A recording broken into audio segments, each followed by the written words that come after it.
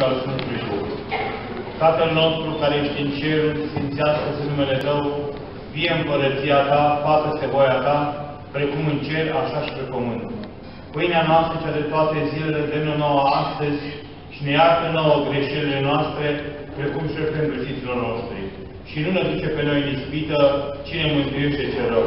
Ca ta este împărăția și puterea și mărirea a Tatălui și a Fiului și a Sfântului Duh, acum și pururea și în veci vecilor. Amin.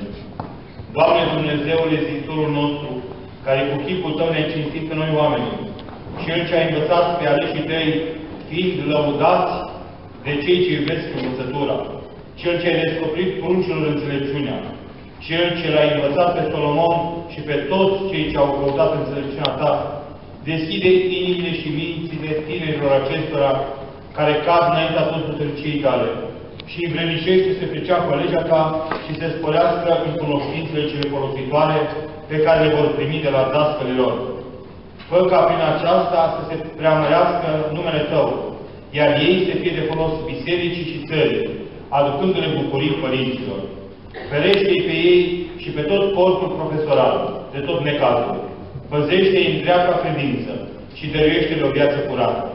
Că Tu ești izvorul înțelepciunii, puternic în milă și bun în tărie, și ții cu bine toată mărirea, cinstea și înțelepciunea, Tatălui și Fiului și Sfântului Duh, acum și pururea și în vecii vecilor.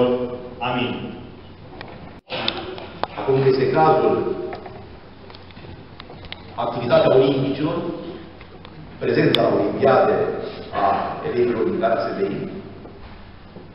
Niciunul din cele 29 de licee din Gara Severin nu se situează în primele 150 din țară.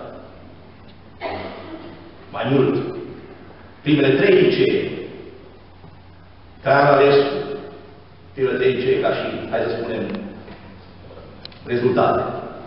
Traian Alescu, Colegiul Național Traian Alescu, se situează pe locul 187, Traian Boda din Caranțel pe un onorat loc 263 și Traian Buia pe 310.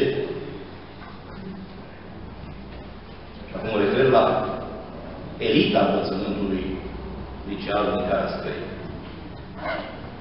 Nu puteți invoca nici măcar criteriul demografic, care este un criteriu esențial. Pentru că populația în care se veni reprezintă 66% din populația României. Ar fi trebuit să avem în acest context, aș spune primar ca și analiză, cel puțin un liceu cu 66. Nu se întâmplă acest lucru. Și cred că aceasta este provocarea cea mai importantă căreia Universitatea Eftimie Mundu trebuie să-i facă, să facă față. Depinde să supraviețuim acestor trei provocări foarte mult de modul în care vom, vom lucra noi cei care reprezentăm, evident, mediul academic, mediul politic, cel administrativ. Eu vă asigur de această colaborare în continuare și în egală măsură vă spun că vom suporta aceste trei provocări, agresiuni, le vom face față și vom izbândi în final.